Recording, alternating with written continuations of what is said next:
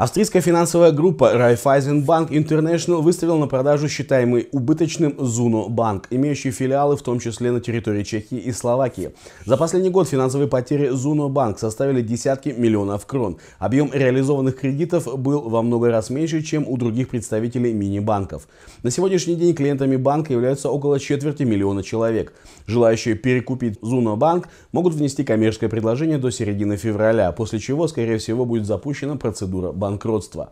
Представители банковской группы Raiffeisenbank International продажу Zuno пока никак не прокомментировали. Лицензию на банковскую деятельность Zuno Банк получил в Австрии и для продажи потребуется разрешение австрийского центрального банка.